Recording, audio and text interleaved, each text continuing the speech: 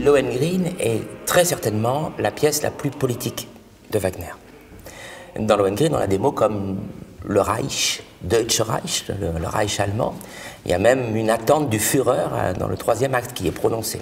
La grande question est de savoir si Lohengrin est une pièce nationaliste ou une pièce sur le nationalisme.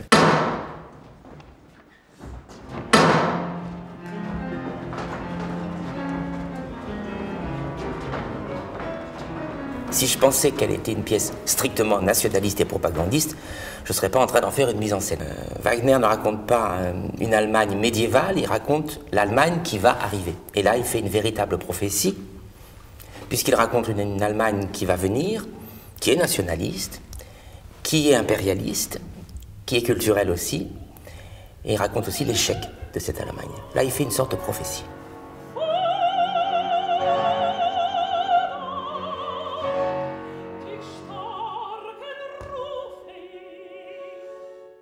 L'art, conçu par Wagner dans l'héritage du romantisme allemand, c'est une transcendance qui ne dit pas son nom.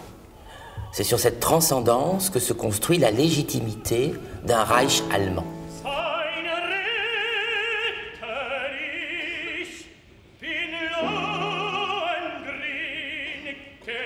L'impérialisme allemand euh, se légitime de sa culture et de sa métaphysique.